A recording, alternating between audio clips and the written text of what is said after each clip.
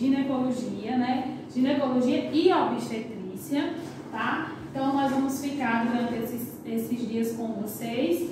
E aí, hoje eu vou trazer uma revisãozinha para vocês sobre a questão anatômica da parte ginecológica, tá? Então nós não vamos estudar a anatomia é, do corpo inteiro, não. A gente vai estudar a anatomia hoje ginecológica, a parte da questão do sistema né, feminino, é, desde a, do, dos é, órgãos internos aos órgãos externos, tá? E também nós vamos falar um pouco sobre alguns exames né, que são muito importantes, tanto pra, é, de forma preventiva, como também para detectar algumas patologias. Então, é, obstetrícia e ginecologia é uma disciplina muito encantadora, muito boa, é, porém, né, nós temos sempre a teoria para depois a gente adentrar nas práticas. É, a dúvida mais comum dos alunos é ah, e a questão da prática se a gente está vendo aula online, certo? Mas aí toda essa parte de demonstração eu vou realizar com vocês por meio né, dos vídeos. Então, todo o material que eu apresento em sala de aula eu trouxe para vocês hoje, já para apresentar para vocês também. Vou estar tá enviando um videozinho, porque eu creio que não vai ficar tão nítido nesse, mas aí eu vou enviar outro vídeo que vai conseguir, vocês vão conseguir ver mais de pertozinho os, os utensílios que nós utilizamos para realizar alguns procedimentos ginecológicos, tá? Então, é, a questão da ginecologia e obstetrícia, né? Pra, é, como é que eu posso dizer? É, o técnico, ele, ele atua de forma é, auxiliativa. Então, assim, por exemplo, é, se vocês me perguntarem, ah, a gente vai falar sobre citológico, mas quem realiza o citológico é o enfermeiro. Então, mas vocês precisam conhecer o procedimento para que vocês possam auxiliar o enfermeiro, tá? Então, o técnico de enfermagem auxilia. Quando a gente fala da questão né, da maternidade, então a dúvida maior é, ah, a gente vai aprender tudo né, aqui em obstetrícia e ginecologia, que nós vamos ver na maternidade. Então eu sempre gosto de focar isso. Teoria, né, é uma coisa, realidade é outra, tá? Então lá na maternidade vocês vão ver situações e vão ver coisas que muitas vezes a gente pode não ter falado aqui. Porém o professor vai explanar tudo isso, né? Vai retirar as dúvidas de vocês na hora do estágio. Então, a prática que nós temos né, em ginecologia e obstetrícia é mais relacionada a vocês conhecerem os utensílios para que vocês possam auxiliar, por exemplo, durante um parto, auxiliar durante um exame ginecológico, tá? Entre outras situações. Então, essa é a nossa parte prática. E não se assustem que, como eu, como eu menciono muito nos grupos, né, quando vocês forem para os estágios, é claro que a gente vai fazer a revisão antes, vai apresentar para vocês todos os setores, para depois realmente vocês fazerem algum procedimento.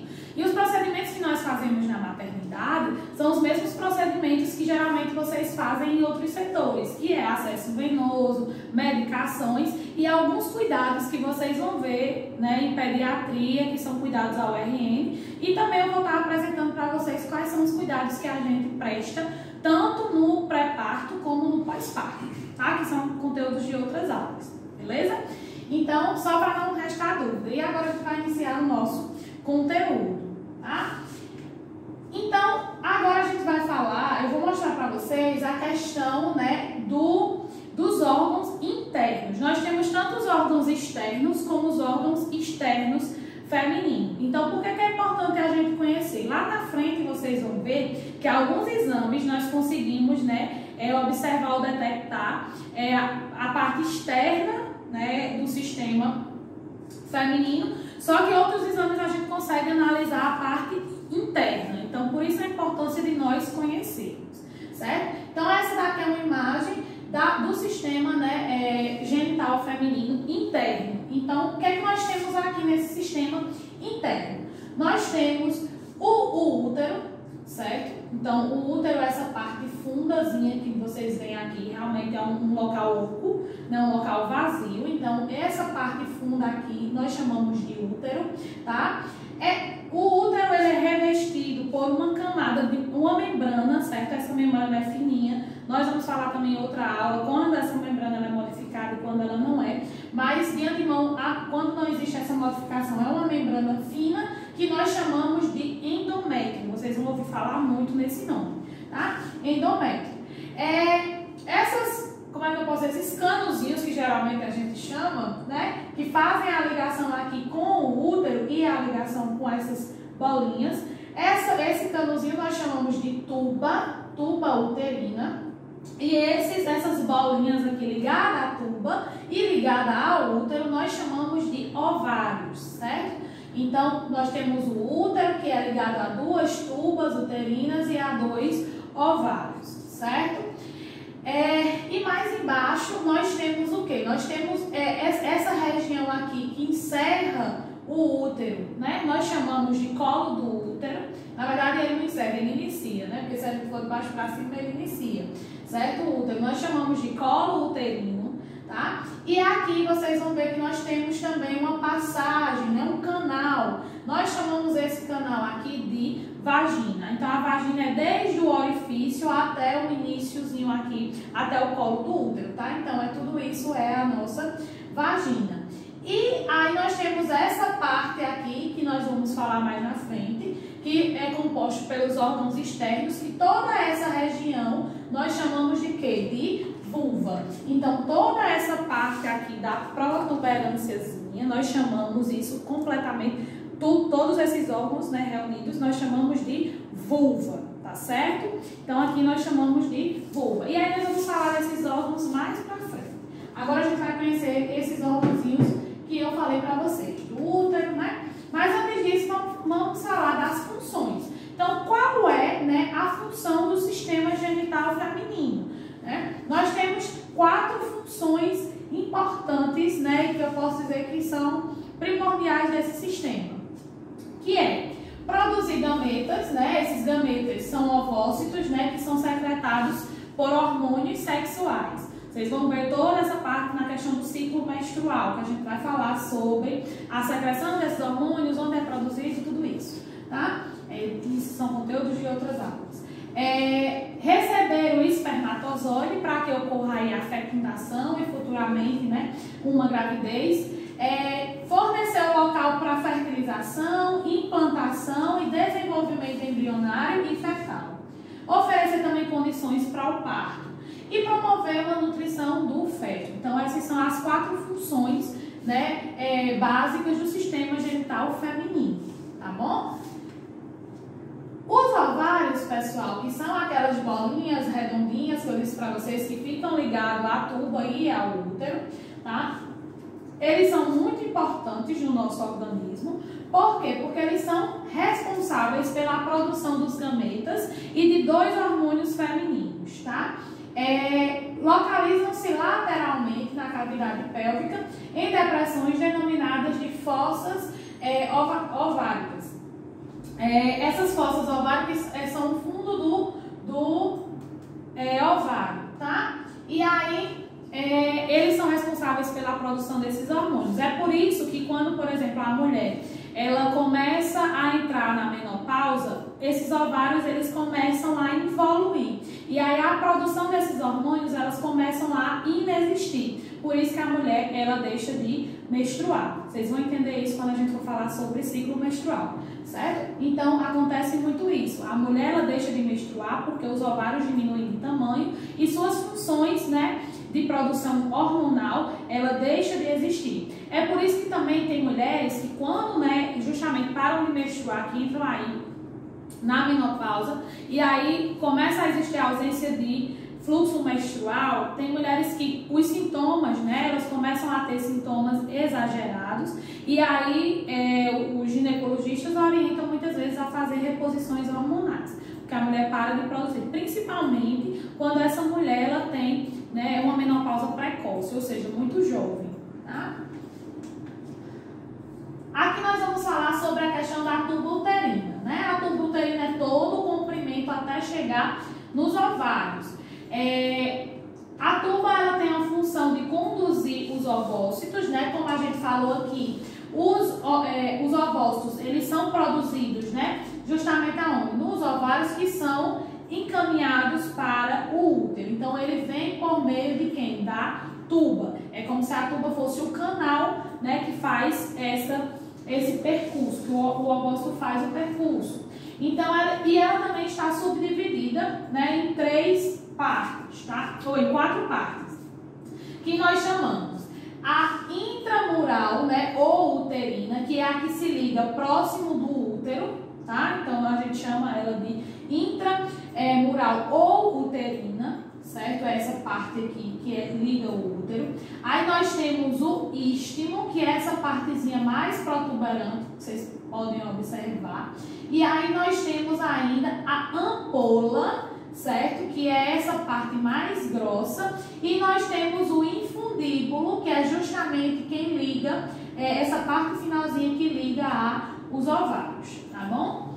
Então, o infundíbulo ele tem forma de funil, ó, observe que ele tem forma de funil, que ele acopla, né, ele cola o ovário nesse funil, tá? É, em cuja base se encontra os ossos abdominal da tuba e é dotado em suas margens de uma série de franjas, ó, as franjazinhas, né, que são irregulares. E essas franjas nós chamamos de fímbrias, certo? Fímbrias, fímbrias tubárias, tá? Vocês podem encontrar em aula na literatura. E aí o útero, né? Qual é a função desse útero? O útero ele tem a função de alojar o embrião, né, ou o feto, né, quando se transformar em feto, até que este complete o seu desenvolvimento até o final da gestação, certo? Está localizado na cavidade pélvica posterior é, superiormente à bexiga urinária e anteriormente ao reto. Vamos lá para explicar a vocês. Como assim, professora? Vamos lá. É, então, quando a gente fala da região pélvica, nós falamos dessa região aqui, tá? Entre é, a, a entre a esqueci. Entre a deixa eu botar aqui, entre a vulva, certo? Tinha esquecido o nome. Entre a vulva tá? E a, a região abdominal, certo? Então fica essa região pélvica acima da vulva, né? E abaixo da região abdominal. Então nós chamamos de região pélvica, certo? É, então, por exemplo, a mulher está sentindo cólica, ela está tendo uma dor pélvica, certo? E aí nós temos aqui a localização, né, da nossa, do nosso, da, do nosso útero, tá? Ele, ele diz ali que ele fica localizado, né, a cavidade póstero superior. Póstero é depois, né? Depois de quem? Da bexiga. Então, se vocês puderem observar, aqui nós temos a bexiga, certo? E aqui nós temos quem? O útero, tá? Póstero, né? É, póstero é, superior, porque depois da bexiga, porém acima da bexiga, certo?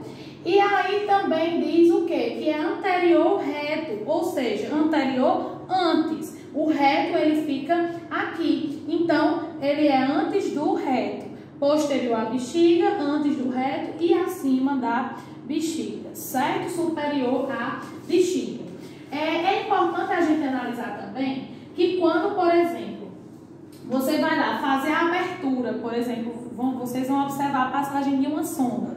Então, a sonda ela não é passada pela vagina. Tem muitas pessoas que confundem muito isso. A sonda ela é para eliminação de quem? De urina. Então, o que que acontece? A passagem da sonda é no primeiro orifício, né, lá da, lá da é, vulva. Então, é o primeiro orifíciozinho, não o segundo, certo? Se for passado nesse segundo, não vai ter eliminação de urina, tá? Pode ter eliminação de outros fluidos, mas de urina não vai ter. E aí, esse orifício, o primeiro orifíciozinho é o orifício que nós passamos a sonda, por exemplo, tá? Sim, outra coisa. Como é...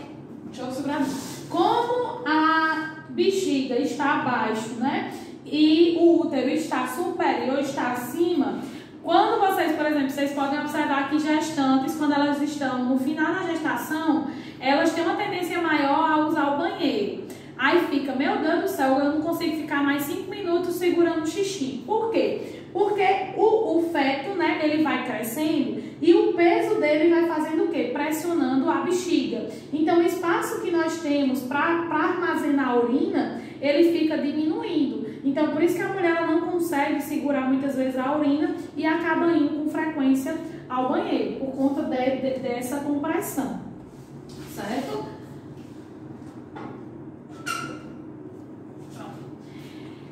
É, deixa eu ver.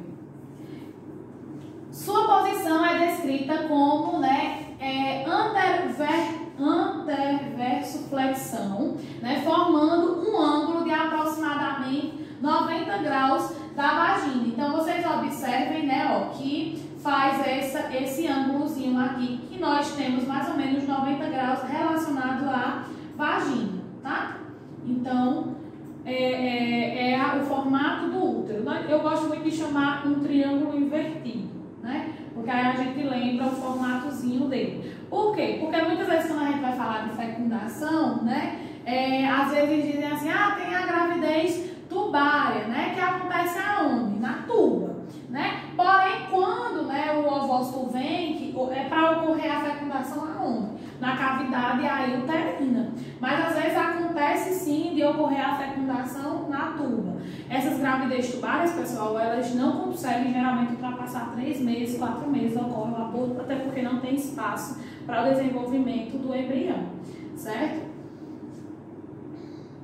Vamos lá, sim, nós estamos falando agora, vamos para a vagina agora, certo?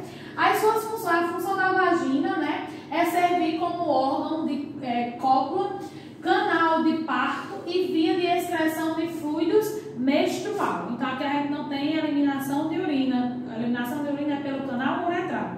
Então aqui a gente tem o quê? A excreção né, de alguns fluidos que podem acontecer. Nós vamos ver que tem algumas secreções que a mulher elimina, que é normal, né? Principalmente quando ela está no seu período fértil. É, nós temos aí também a excreção de fluidos menstruais e também muitas vezes a expulsão de um feto pela vagina, que nós chamamos de parto normal. Tá? É, está localizada entre a bexiga urinária, o reto e o canal anal. A vagina possui um lumen estreito, sendo que suas paredes ficam praticamente unidas. É, que aí, no caso, quando a gente olha né, a questão aqui, a gente vê que geralmente as paredes ficam bem unidas, certo? Então a vagina ela tem essa, essa tendência a não ser ela é espaçosa por conter muitos músculos, porém ela tem uma tendência a ficar sempre unida. É, a vagina se comunica com o útero por meio de um ósteo uterino e com o meio externo por meio de um ósteo da vagina, que se abre, né, no vestíbulo da vagina. Então, o ósteo que nós chamamos aí que liga ao útero, né, o ósteo é, uterino, é a parte que se conecta com o colo do útero, tá? Essa parte fúndica. O ósteo vaginal é justamente o que? O orifício vaginal, aquele buraquinho, né, da vagina, que vai dar entrada aí para a questão da vagina em si e aí o contato com o útero. Então, o ósteo é aquele orifício inicial que a gente vê na parte externa e o, o ósteo uterino é justamente o o buraquinho, né, que fica lá no colo do útero, que é, já, o colo do útero é, é, é uma circunferência, ele é redondinho e no meio dele tem um buraquinho, e esse, esse é o ósseo aí uterino, tá? É... Vamos lá. E agora a gente vai ver a questão dos órgãos é, externos, né? Como eu disse para vocês, é importante a gente analisar tanto a parte interna como a parte externa também. É, então, no, nos órgãos externos, eu colocar um negocinho. Nos órgãos externos, nós temos, né? É, tudo isso, como eu disse para vocês, nós chamamos de quê? De vulva. Tudo isso é considerado uma a vulva, tá? É, e aí, mas aí nós temos os órgãos especificamente. Essa partezinha, né, cheia de pelos, nós chamamos de pelos pubianos e também nós denominamos de monte pubiano certo? Ou Mount Pups, vocês podem ouvir também essa pronúncia. É, mais abaixo nós temos o clítoris, tá? Que é uma, nós vamos falar dele também. Aí nós, nós temos ainda, ela é composta pelos grandes lábios, tá? E pelos pequenos lábios, certo? Aqui é o orifício uretral, tá? E aqui é o orifício vaginal. Se vocês tiverem com a apostila, vocês observem que o orifício uretral ele é bem menor do que o orifício vaginal, certo?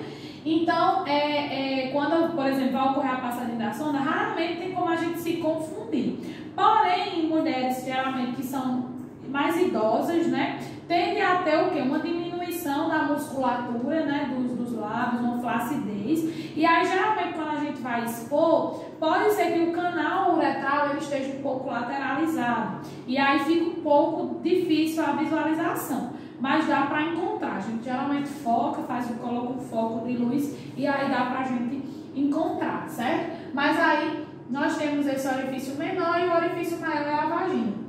O primeiro buraco que vocês encontrarem sempre vai ser o retrato.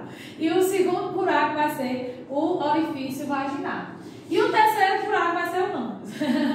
né? O terceiro orifício vai ser o ânus. Então é importante vocês sempre lembrarem desses três orifícios, para que vocês não venham a ter aí uma confusão. É, e a gente vê muito, né? As pessoas, até pessoas muitas vezes formadas, confundindo esses orifícios. Certo? Então, foquem nesses orifícios aí. Então aqui, né, o Monte Pubis, tá, pessoal, é uma elevação né, mediana anterior à sínfise pública.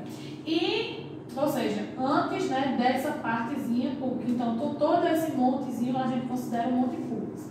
Constituída principalmente de tecido adiposo, por isso que quando a mulher ela, ela engorda, geralmente cresce o negócio, tá? Porque é composto por tecido adiposo, certo? Apresenta pelos espessos chamados de pelos pubianos, que aparecem na puberdade e com distribuição característica. Então varia muito. Tem, tem pessoas que dizem assim, ah, quando é que vai aparecer esses pelos? O ideal é que geralmente ele aparece durante a puberdade. Mas tem, tem é, mulheres, né, crianças, que são cabeludazinhas e aí acabam já tendo ou desenvolvendo pelos precocemente tá? Bem antes, às vezes, de entrar na puberdade. É normal? É. Então, vai da é, é, genética de cada um, né? Da fisiologia de cada indivíduo, tá? Porém, também outra coisa que é importante a gente analisar, pode ser que vocês vejam por aí, é, esses pelos eles servem de barreira de proteção para justamente a vulva. Então, é, já, se vocês forem, por exemplo, no ginecologista, ele orienta a não fazer a depilação total né, de, desse, desse local, e sim a, a, a, a tricotomia, né? ou seja, aparar os pelos, não, é, não raspar tudo, porque ele serve sim como uma barreira de proteção, até muitas vezes relacionada a traumas. Tipo, às vezes você vai passando num lugar e bate, geralmente o pelo ele serve como uma forma de defesa, tá? É, de barreira, quer dizer, de proteção, certo? Aí nós temos os lábios maiores do pudendo, né? Vocês vão ver isso. Lábios maiores pudendo, lábios menores pudendo, tá? É, então são duas pregas cutâneas alongadas que de, delimitam entre si uma fenda é, arriba do pudendo. Após a puberdade, apresenta-se hiperpigmentadas nessas regiões. Geralmente pode ocorrer o escurecimento né, dessa região, ou muitas vezes ela ficar mais vermelha, depende da coloração da pele, certo? É, hiperpigmentadas e cobertos de pelo, somente nas suas faces externas, que é a parte de fora. Então, se nós olharmos os grandes lábios, né, por dentro, na parte de dentro, não vai ter pelo, vai ter pelo na parte externa. É, pode ser que tenha mulheres que têm um mínimozinho, pode. Então, como eu disse para vocês, varia muito da genética. Somente nas suas faces externas, sendo suas faces internas lisas e desprovidas de pelo. Então, esses pelos só geralmente é, eles vão aparecer na puberdade. E aí nós temos os, é, os menores lábios ou pequenos lábios, né, pudendo, é, que são duas pregas cutâneas que já ficam nessa região mais interna, tá vendo? É, que fica ligado, ó, a, a gente diferencia, porque geralmente quando, a, quando está na anatomia, a gente não consegue diferenciar o pequeno e o grande, não. O pequeno é o, de, o grande é o de fora e o pequeno é o de dentro. É, porém, observem que Geralmente, os pequenos lábios, geralmente não, pequenos, os pequenos lábios, eles ficam ligados ao clítoris, certo? O início dos pequenos lábios é no clítoris. A partir daí, ele vai fazendo o quê? Essa abertura, né? E fazendo um formato ovoide, assim, né? Parece um ovozinho, tá? Então, ele, ele, ele reveste a parte. O, os grandes lábios, eles servem como uma proteção para os pequenos lábios por ele também ser é, uma, uma camada de pele bem mais fina e bem mais delicada, certo? Então, é, é recoberto por pele lisa, úmida e geralmente avermelhada, tá? Ficam protegidos pelos lábios maiores, exceto nas crianças e na idade avançada, que é quando geralmente a musculatura dela diminui e aí os grandes lábios eles perdem quantidade de gordura, diminui e aí geralmente eles murcham. Aí ficam menores, aí ficam quase todos os dois do mesmo tamanho. É, o espaço entre os lábios menores e o vestíbulo da vagina, onde estão localizados o ósseo externo da vagina e o ósseo, é, e o ósseo, ou o ósseo externo da uretra e o ósseo da vagina, e os orifícios dos ductos das glândulas vestibulares. As glândulas vestibulares, a gente sim, a gente fala aqui. É, essas glândulas vestibulares são glândulas, pessoal, que geralmente elas não são tão visíveis. Então, são glândulas que geralmente ficam nessa parte, próximo aos pequenos lábios, certo? Elas são de número de duas ou é, menores em números variáveis e estão situadas profundamente no vestíbulo e possuem ductos que se abrem ao redor do ósseo vaginal. Para vocês, geralmente ela fica nessa região dos lábios internos, onde liberam muco lubrificante, onde liberam aquela lubrificação, né, aquele, aquela secreçãozinha é, transparente. Tá? E aí nós temos a questão do clítoris, né? O clítoris, pessoal, é, como vocês sabem, é essa, essa protuberânciazinha né, lá na vagina. É, é o homólogo do pênis, né? Nós dizemos que é o pênis feminino, né? Por quê? Porque justamente é, uma, é um local, uma cavidade, aonde o, o para a mulher é o local que é o ponto G, que acho que vocês já ouviram falar, que a mulher sente realmente prazer. Então, é o local, é o, seria o pênis aí feminino, tá? É, possui duas extremidades fixadas ao início e ao pubis, chamado de ramo do clítoris, é, que se juntam formando o corpo, né? Juntando que se formam aí o corpo do, do clítoris. E este apresenta uma dilatação distal denominada de glande do clítoris, que é justamente essa protuberânciazinha. Chama-se glande do clítoris. É, apenas a glande do clítoris é visível e estas e, e está ligada, né, a essa excitabilidade sexual feminina, como eu disse para vocês. Então é o local onde a mulher se excita, onde ela, uma mulher consegue ter aquele prazer, certo? E aí, nós vamos adentrar na questão dos exames ginecológicos, tá? Então, nos exames ginecológicos, né, pessoal, nós temos vários, tá? Eu vou falar alguns, é, na verdade, vou falar todos. Mas aí eu vou focar mais agora né, no citológico para vocês, que são o que vocês vão ter mais contato na questão da, do, do estágio de PSF.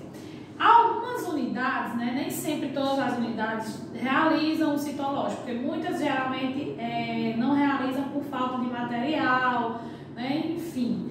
Mas também tem as clínicas geralmente que realizam. E assim, né, o correto seria a coleta pelo enfermeiro, mas aí existem clínicas né, que contratam os técnicos para fazerem a coleta. Então, é, vocês vão encontrar, então vocês podem questionar isso, certo? Mas é um procedimento do enfermeiro junto com o técnico para auxiliar. É igual dentista. É um exame que a gente não consegue muitas vezes estar sozinho na sala, porque aí precisa pegar é, material que está longe, e aí às vezes o espéculo está escorregando, e aí não dá. Geralmente a gente precisa de um apoio, um suportezinho, realmente, tá?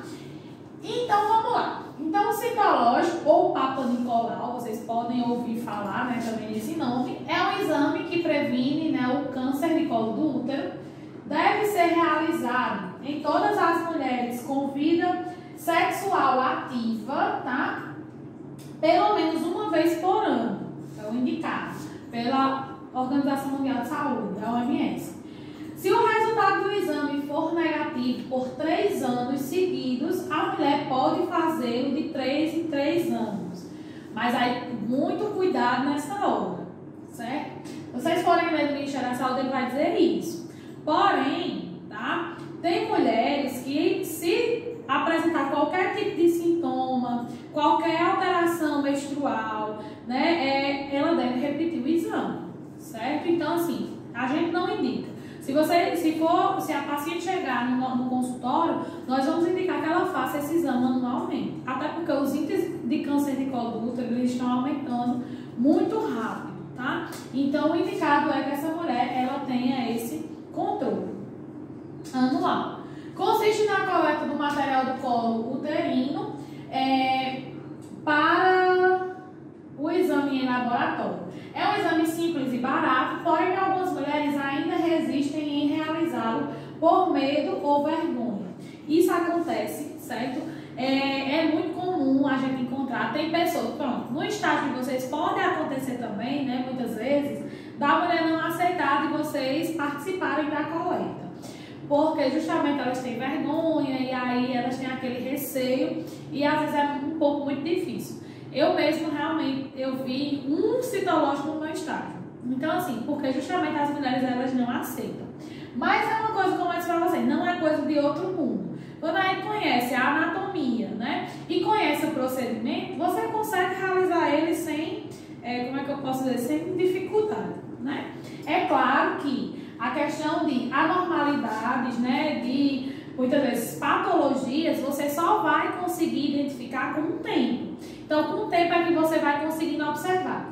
É, eu vou também estar enviando para vocês uma imagenzinha que eu consegui achar na internet. E eu acho que está até aqui no slide. Sim, tá. Então eu vou falar. E mas eu vou enviar também para vocês é, no grupo. E para vocês verem direitinho, para a gente conversar um pouquinho sobre essa questão do, do colo do útero, nessas né? alterações. É muito, muito importante, bem bacana.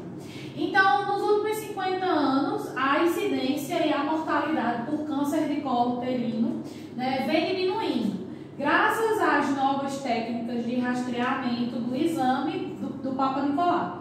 Por isso, ele é um dos exames mais importantes né, para a prevenção da saúde da mulher. O citológico, pessoal, é um dos exames, certo?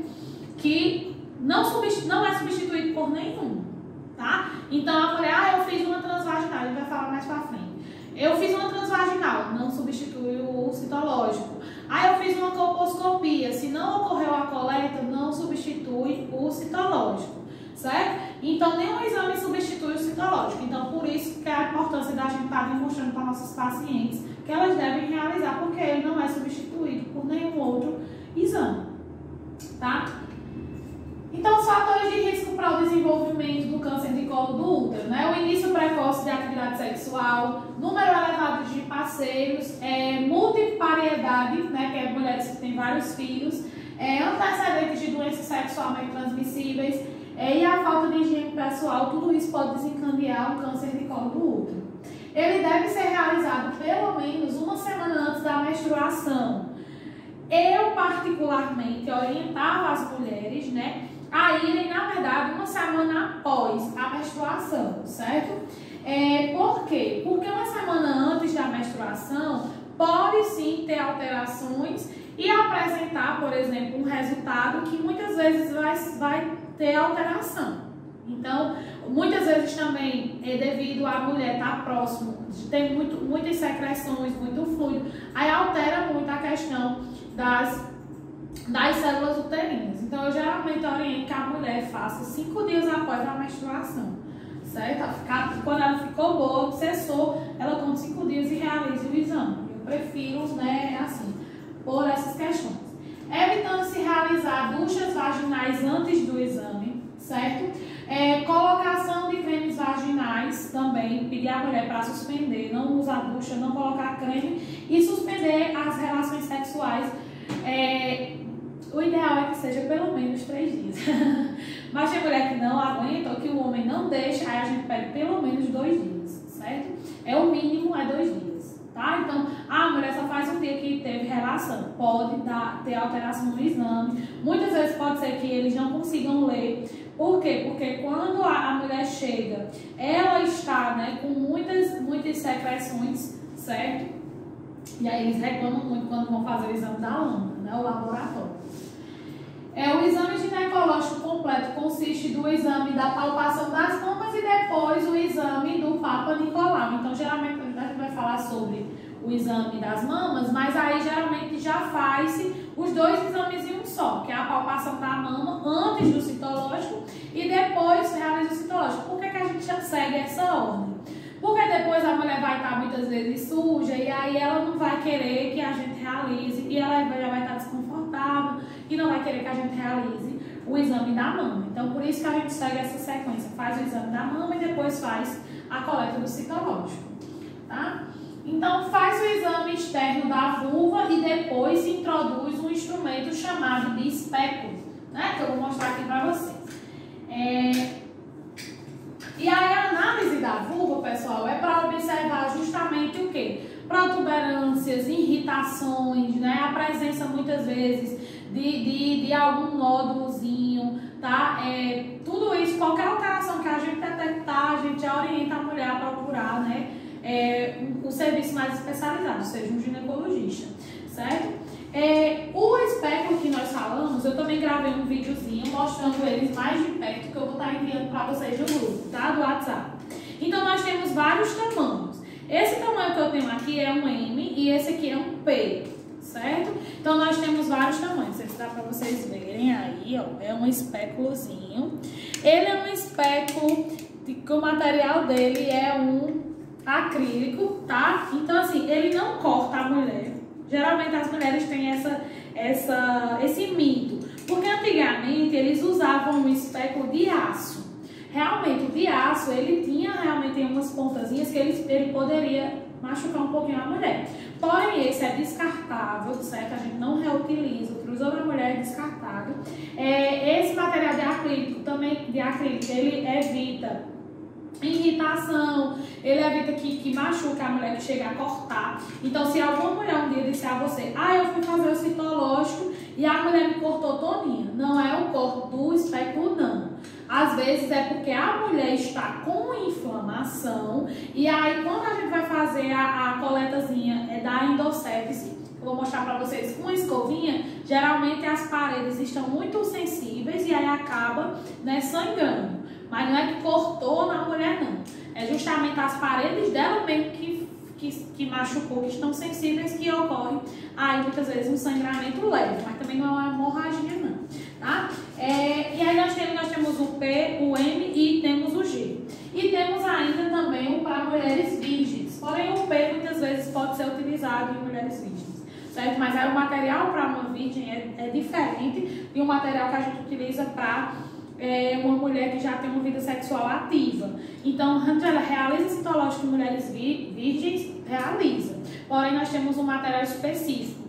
Em vez de a gente utilizar a escovinha né, endocervical, tá? a escovinha endocervical, não sei se dá para vocês verem, eu também fiz um videozinho colocando ela para vocês verem, tá? É, essa escovinha, né, ela é uma escova mesmo, certo? E aí a gente não utiliza essa escova em mulheres virgens, a gente utiliza um suavezinho, um cotonete grande, certo? Então vamos lá.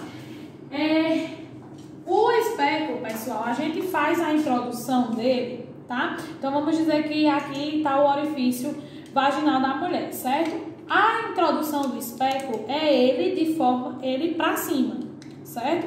Então a gente faz o quê? Porque aí ele não vai ficar entrar largo, né? Se a gente tá ele de lado, ele vai ficar largo. Então a gente introduz ele para cima nesse formatozinho aqui, ó. A gente introduz ele e aí introduzir no orifício e vou introduzindo, introduzindo, introduzindo. Professora, e vai chegar e ficar mais ou menos assim. É, professora, mas tem mulher que tem, tem resistência e não consegue colocar? Tem, principalmente quando ela tá nervosa. Aí a gente vai tentando enfiar e vai fazendo essa restrição.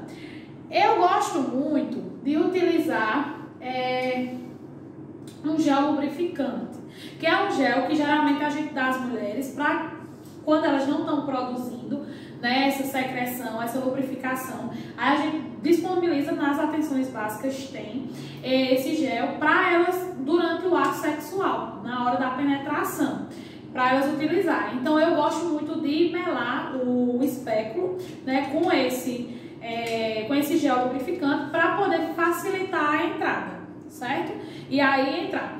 É, quando a gente introduz certo? Vai ficar dessa forma que eu falei pra vocês, no vídeo vocês vão ver também.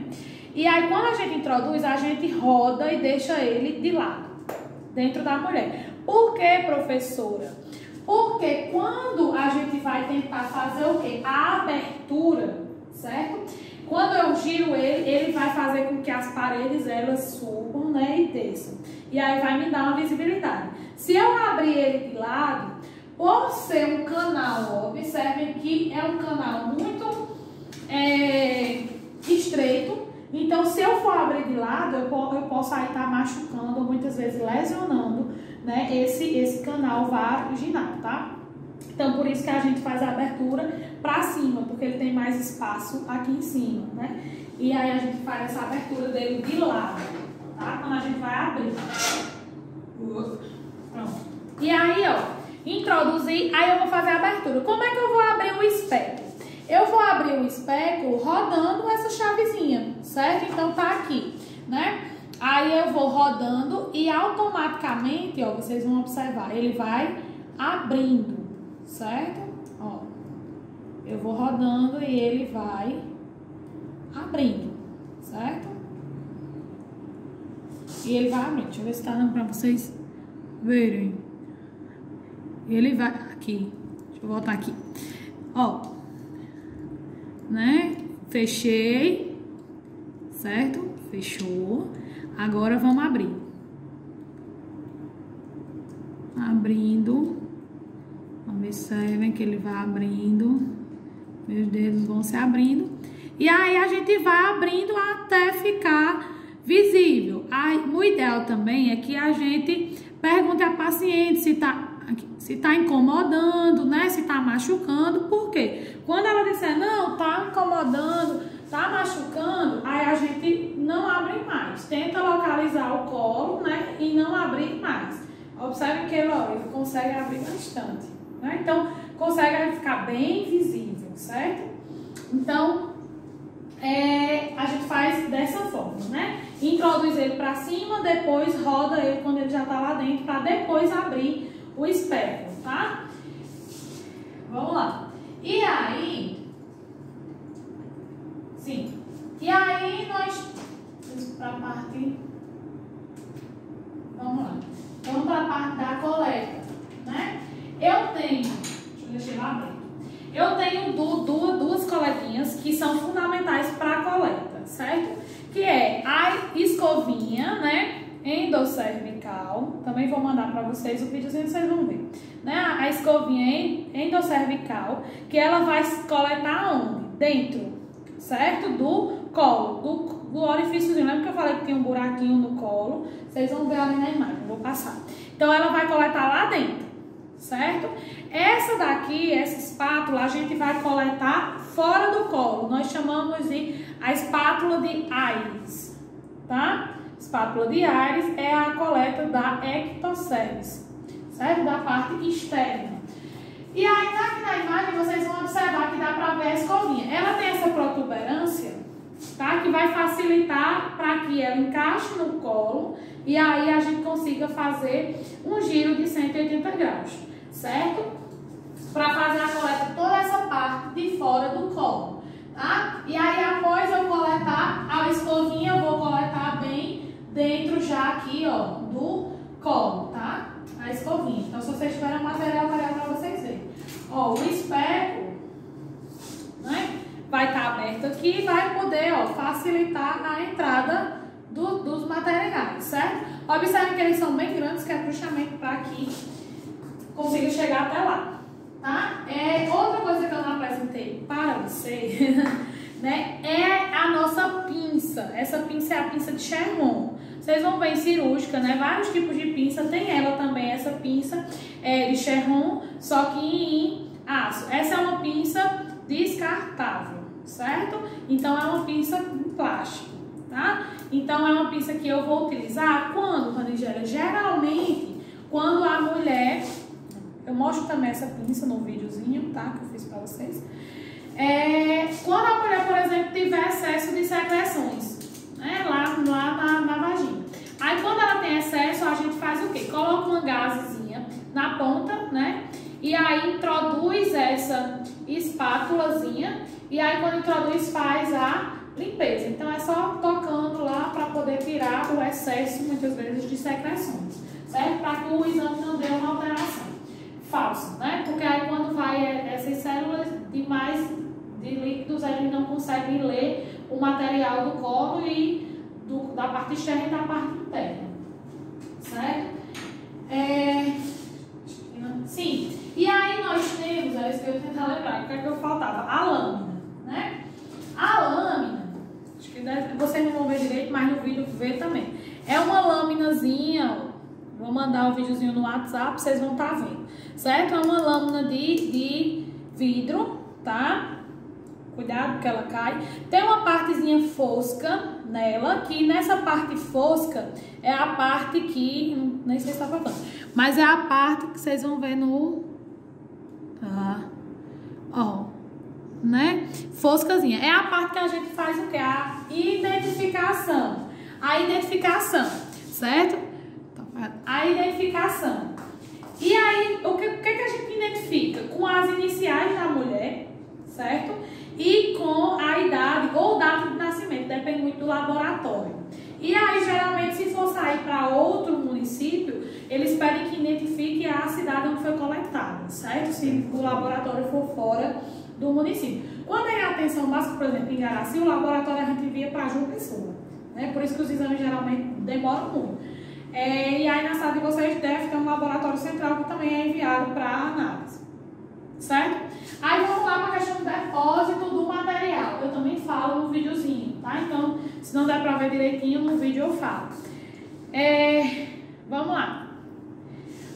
Aqui que é a espátulazinha, que geralmente a gente coleta primeiro, tá? A gente faz o depósito dela.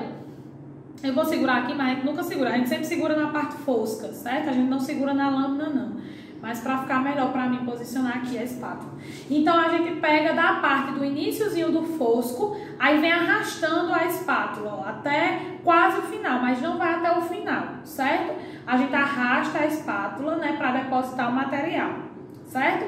Professor, aí no caso a gente só passa uma vez, o indicado é que passe uma vez, certo? Coloca um pouquinho de força que é para que o material realmente fique. E aí, na na parte da escovinha, que é a parte que a gente coleta internamente, né? A espátula eu passo ela é, em pé com a lâmina deitada. A escovinha vai ser o contrário. A lâmina vai estar né, deitada, a escovinha também vai ser deitada. Quando, como é uma escova, ela vai ficar aderido em vários, como é uma aspiral, quer dizer, ela vai ficar o, o material aderido em vários lugarzinhos, né, da escova. Então não é igual a espátula que eu posso arrastar. Então eu vou fazendo o quê? Eu vou rodando a escova, certo? Rodando na pontinha. E aí todos os laboratórios, né, já sabem que a análise da coleta geralmente é assim, né? É a, a, primeira, a espátula deitada e a escovinha na ponta da lâmina. Geralmente é um padrão.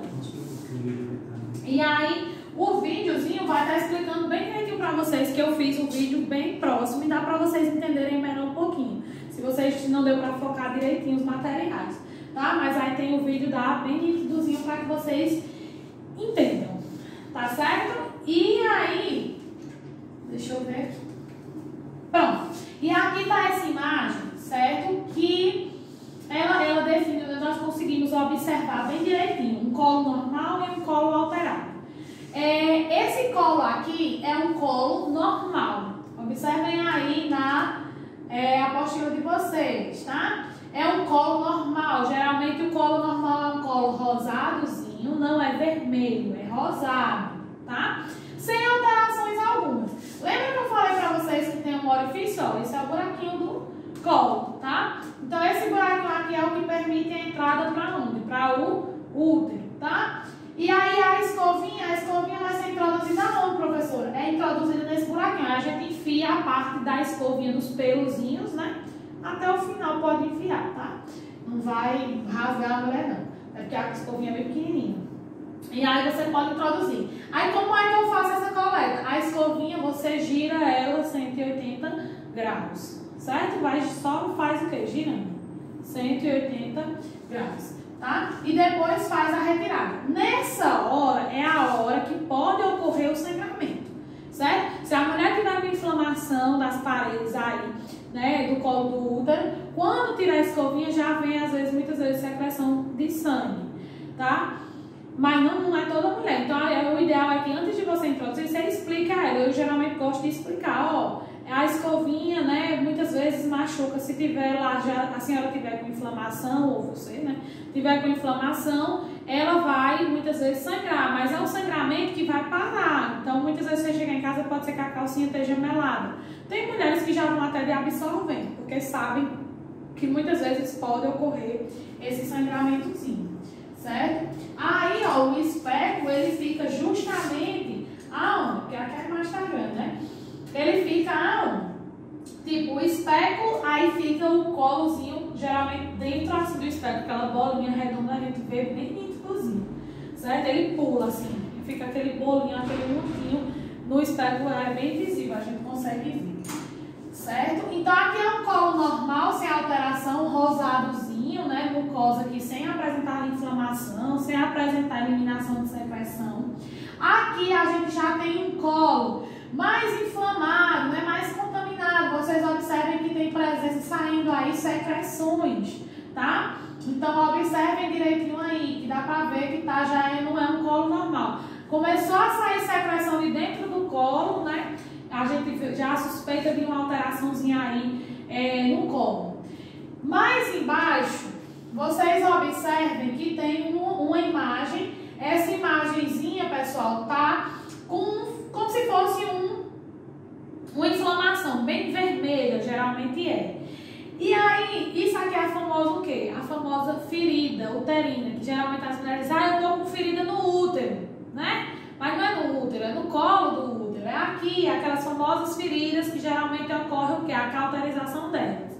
Quando o ideal é, durante o procedimento também, perguntar à mulher se ela já passou por algum procedimento cirúrgico, já fez alguma cauterização, né? Ou então pode perguntar, já queimou alguma ferida? Porque tem mulheres que não entendem o que é cauterização, não. Então, já queimou alguma ferida, por quê? Porque quando ocorre essa cauterização, fica muitas vezes uma, uma cicatrizinha, né, mínima. Aí que quando você observa, é como se fosse uma manchazinha. Aí é bom você perguntar, por quê? Pra você não já dizer assim, ai, a mulher tá com uma ferida né? Como tem muitos profissionais que dizem, ah, minha está conferida. O ideal, pessoal, nunca é você dar um resultado, certo? Por que, Ranigélia? A ferida sai no exame, Ranigélia? Não. No exame vai vir se você está tendo alguma bactéria, se você está com alguma inflamação.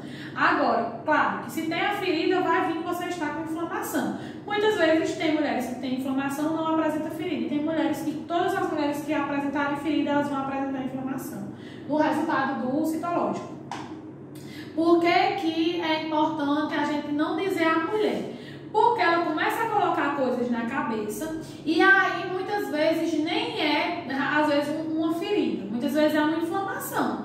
Então, quando a mulher está com o colo muito inflamado, né, eu geralmente digo que está muito inflamado e que aí, quando chegar o resultado, ela mostre ao médico para que o médico passe a conduta. Se ela sentir alguma coisa, né, que geralmente quando está ocorrendo inflamação, ela sente muita dor pélvica, né, dor pélvica ou muitas vezes ela sente aquele desconforto né, na vagina. Então, é normal. E aí, você diz, não, se os sintomas piorarem, aí você vem para o médico antes, porque aí o médico já começa a tratar aquela inflamação bem antes, né? E aí, que geralmente a gente está evoluindo o prontuário da paciente, ele já vê que foi feito citológico com presença, por exemplo, de inflamação é, aguardando o resultado né, do exame. E aí ele já suspeita e já, já faz o quê? O tratamento medicamentoso. Por que, que não é ideal dizer à mulher que ela está com ferida? Porque muitas vezes tem mulher que quando ela está muito inflamada, camufla. Então parece uma ferida, mas muitas vezes não é uma ferida. E aí, quando faz o tratamento medicamentoso, ela some, né? Aquela, aquela, esse vermelhidão muitas vezes some. É claro que esse colo aqui, realmente a ferida está enorme. Isso daqui jamais seria só uma inflamação. É quando, por exemplo, aparece em algum localzinho, né, esse mesmo aspecto. Não quando ela está preenchida, quando ela está realmente preenchida desse jeito, ou então, quer dizer, só na parte de cima assim, mas ela está preenchida no espaços grande, né, vamos dizer assim, é realmente característico de uma ferida, não só de uma inflamação, tá? Então, isso são coisas que você vai realmente conhecendo e quando vai vendo no dia a dia, aí você consegue identificar. E aí, Anigela, quando a mulher realmente está com ferida, o que é, que é indicado? É indicado que quando ela receber o resultado do citológico, ela vai realizar uma colposcopia, que é o que eu vou falar para você já já, tá? Essa outra imagem, ela apresenta o quê? Aqui essa mulher já está né, com células provavelmente alteradas.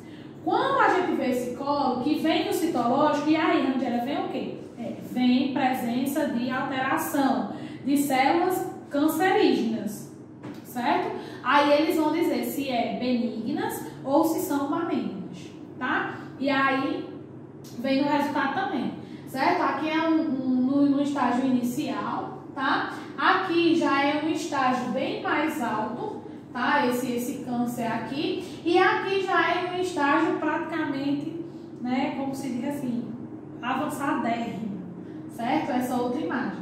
Então, Rangeliar, o que, é que acontece muitas vezes? Muitas vezes acontece que a mulher tem que fazer a, a, a retirada, né? Então, tem mulheres que fazem a esterectomia mas pensa que sai tudo. Não sai tudo. Médico faz a esterectomia, ele tira lá o útero e o ovário, mas o colo fica. Certo? Então, mesmo mulheres com esterectomia, elas têm que realizar o citológico. Certo? Que elas podem ainda assim apresentar um câncer de colo do útero. Tá? E aí é feito um tratamento, enfim, toda aquela parte de tratamento de câncer é realizado nessa mulher também, quando está com câncer de colo do útero. Tá? O resultado ele deve ser interpretado pelo médico que deve explicá-lo à paciente.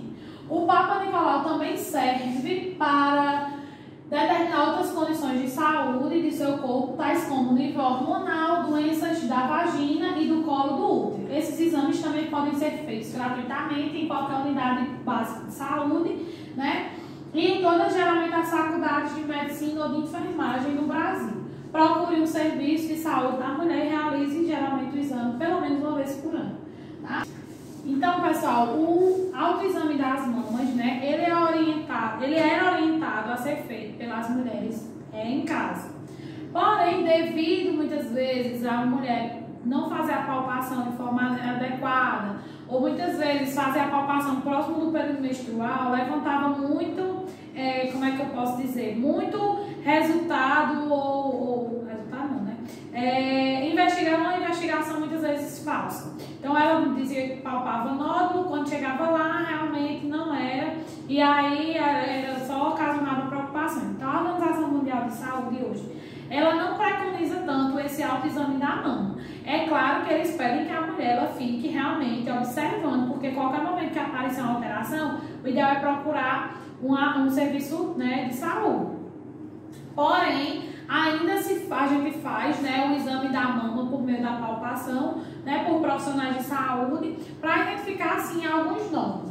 Então, o ideal é que essas mulheres, né, principalmente as mulheres entre 45 e 50 anos, né, elas fiquem fazendo esse rastreamento. Não que as outras mulheres de outras faixas etárias não façam, é indicado para toda mulher. Porém, é, a incidência de câncer de mama geralmente está entre essas, essa faixa etária. É, os cuidados para evitar o câncer de mama, né? A questão de se você tem alguém na família que já teve, a questão genética, né? É importante você estar tá sempre investigando. A obesidade também influencia muito no desenvolvimento de câncer. O número elevado de ciclos menstruais estão entre os principais fatores que estimulam também o surgimento de um câncer de mama. Ainda assim, todas as mulheres que se identificam ou não com qualquer fator de risco devem seguir a partir da adolescência algumas recomendações também, né? É, deve se fazer na adolescência para essas mulheres. São procedimentos e hábitos, né? Elementares que ajudam a evitar o câncer de mama e outras eventuais complicações ginecológicas. Então, as precauções que geralmente é, devem ser tomadas. Fazer visitas anuais ao ginecologista, fazer o autoexame pelo menos uma vez por mês, que não seja no período menstrual, tá? Próximo do período menstrual. É, Submeter-se ao exame da mamografia anualmente após os 40 anos. Porém, hoje, assim, o Ministério da Saúde preconiza que as mulheres procurem né, realizar esse é, anualmente a partir dos 50. Dos 40, caso ela seja mulher é, que apresenta aqueles fatores que a gente falou de risco, né? Ou então já apresentar alguma alteração na mão. Então, o objetivo do exame né, é fazer com que as mulheres elas conheçam detalhadamente suas mamas e que facilite a percepção de qualquer alteração, tais como né, pequenos nódulos nas mamas ou nas axilas também. Saída de secreção pelos mamilos e mudança da cor é, do, do seio. O autoexame das mamas ele também deve ser realizado mensalmente por todas as mulheres a partir de 21 anos de idade. Sete dias depois do início da menstruação, quando as mamas se apresentam mais flácidas e indolores. Após a menopausa, deve-se definir né, é, um dia de mês a realizar o exame, sempre em intervalos de 30 dias. É, a frequência com que se faz o exame torna mais fácil aí notar qualquer modificação. É, e aqui está, né, como deve ser feito. Então, geralmente a mulher pode realizar quando ela for tomar banho, que é no momento que ela vai ficar espiga. Colocar o braço por trás, né, das costas e aí palpar toda a região em formas circulares. Pressionar o bicozinho para ver se ocorre saída de secreção. É claro que se estiver amamentando vai sair. Então, mulheres que amamentam não façam. E a, só mulheres que não estão amamentando que faz é, a pressionada do mamilo, certo? Observem também algum nódulo abaixo da axila, tá? Em toda essa região. E quando a mulher vai fazer o exame no consultório, nós pedimos para ela deitar, a gente faz a palpação deitada, depois faz a palpação dela sentada, depois pede para ela colocar a mão na cintura para olhar a questão né, da simetria e também fazer a palpação, tá? E, e aí, caso a mulher né, apresentar alguma alteração, realizar a mamografia a partir dos 40. Caso ela não apresente alteração, nem seja grupo de risco, só é indicado que ela realize a partir dos 50 anos. Até porque, é, como vocês observam aqui na foto, pressiona a mama. Então, de certa forma, é um exame um pouco doloroso. E aí, para a mulher não ter que estar tá se expondo, né? Às vezes, sem tanta necessidade. A mamografia é uma radiografia das mamas em várias incidências. As é, doses de radiação que são usadas atualmente são muito pequenas e o exame anual não representa qualquer risco.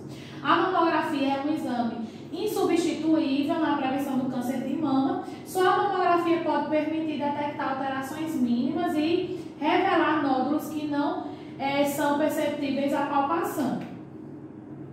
A mamografia é um exame importante na prevenção do câncer de mama, por isso deve ser indicado a, a critérios. Como eu falei para vocês, mulheres aí né, com 40 anos, se houver é, alguma, né, algum, se for de algum grupo de risco, dos 40 aos 50 deve ser feito de duas a de 2 em 2 anos, a partir dos 50 pode ser feito também de 2 em 2 anos, mas o Ministério indica anualmente, certo? Só pode, é, para esclarecimento de casos duvidosos, é que é necessário repetir a mamografia em um intervalo menor do que um ano, caso, por exemplo, a mulher tenha apresentado alguma alteração. A colposcopia, como eu falei para vocês, e vulvoscopia, né, é o exame mais aprofundado do citológico. Como eu disse para vocês, geralmente quando a gente identifica alguma alteração do colo do útero, a gente encaminha essa mulher para fazer uma colposcopia. Então, professora, mas se, se eu quiser fazer uma transvaginal, não vai ver o colo. Então, se existe alteração de colo do útero, o exame a ser feito após o citológico é a colposcopia e vulvoscopia, certo? Transvaginal vê a parte interna. É, ultrassonografia pélvica vê a parte interna, não vê a parte do colo do útero, vê a parte dentro do útero, ovário, tuba, certo? Mas não vê a questão do colo. É, são muito parecidos com o Papa Nicolau, mas a diferença é que a colposcopia e vulvoscopia são bem mais detalhados. Isso porque aumenta muito mais a visão do colo do útero. Normalmente só é solicitado quando é encontrado alguma seja normalidade no Papa Nicolau. Também podem ser feitos nos consultórios ou em algum laboratório. Aí a ultrassom né, transvaginal, como eu disse para vocês, é um exame que vai ver a parte interna do útero, tá? É, e aí vai ver ovários, tudo bem direitinho. É... Cadê? Sim. É um exame né, que é muito mais complicado para a mulher, mas nada que assuste. Não é um exame que dói, nada do. Com aparelho de ultrassom em forma de tubo, né? Então, é essa forma comprida aqui vai ser introduzido né, na vagina da mulher. E aí ele vai conseguir visualizar a região pélvica, o útero, trompas, o endométrio e os ovários. O endométrio que é a camada do útero que reveste o útero, a membrana. Esse tubo é introduzido na vagina, envolta em preservativo e muito lubrificante. Coloca-se o preservativo aí no, no transdutor e ainda coloca-se lubrificante para poder a introdução ficar mais fácil. Esse exame pode ser pedido se a paciente sente cólicas muito fortes ou tem menstruação aí irregular, tá? É, uma normalidade do Papa Nicolau também pode ser motivo para que realize o exame. É, por exemplo, a saída de muita secreção ou sangramento, certo? A gente geralmente indica transvaginal. E outra coisa também, é, se a mulher, por exemplo, é, sentir dores e aí fez a, a transvaginal e o resultado, né, não teve, não tinha nenhuma alteração uterina, aí geralmente o médico diz, você já fez exame citológico? Por quê? Porque pode ser também a dor pélvica, pode também estar associada a uma inflamação de colo. E muitas vezes não uterina, mas de colo do útero, tá? E aí tem que realizar o citológico, certo? A captura hídrica, certo? Híbrida, né? Captura híbrida, essa deve ser feita uma vez. Se o resultado for negativo, não há necessidade de fazer novamente, a não ser que a paciente ela tenha sintomas. É, por exemplo, como coceira, certo? Como é, a presença de corrimento. Porque essa captura híbrida é uma captura justamente de quê? De secreções eliminadas lá pela vagina. Aí vai fazer a coleta. A coleta é feita igual ao citológico, só que a diferença é que coleta a secreção que a gente retira para realizar o citológico. Lembra que eu falei? Quando tem excesso de secreção, a gente retira a secreção, o excesso, para poder coletar o material da, da, do colo do útero, da parte externa e da parte interna. Já a captura híbrida, que quando tem excesso de secreção, é coletada a secreção para ser analisada, para ver se aquela secreção, né, tem uma presença de bactéria, né, de, de fungo, e aí se é uma candidíase, enfim, tá? É, e aí vai observar qual, qual infecção sexualmente transmissível aí ela está apresentando. Também é feita com o uso de esperma, como eu disse para vocês, abre a vagina e coleta a secreção vaginal para análise. E aí a gente encerra né, a nossa aula né, sobre a revisão anatômica e sobre os exames que são utilizados na parte de ginecologia, certo? Nossa próxima aula é sobre métodos contraceptivos e ciclo menstrual, para que vocês entendam depois, porque vai dar a terceira aula fecundação, e aí a gente tem que entender todo esse contexto até chegar na questão da fecundação. E a nossa quarta aula a gente vai falar sobre justamente a questão da assistência de mulheres, tanto na, no pré-parto como pós-parto, tá certo? E a questão de cuidados do RN, isso daí vocês veem em pediatria, tá? Então a gente vai focar mais na questão da parte da mulher, tá certo? Então, é, vou estar enviando para vocês a atividade. Qualquer dúvida, os vídeos vou estar enviando no grupo do WhatsApp, tá certo? Qualquer dúvida é só vocês falarem, a gente vai estar aí dialogando aí no grupo, tá bom? Atividade com envio também até sexta. Como a gente teve um atrasozinho na aula, vocês podem me enviar até mais tardar no sábado, tá bom? Então, fiquem com Deus e até a próxima aula.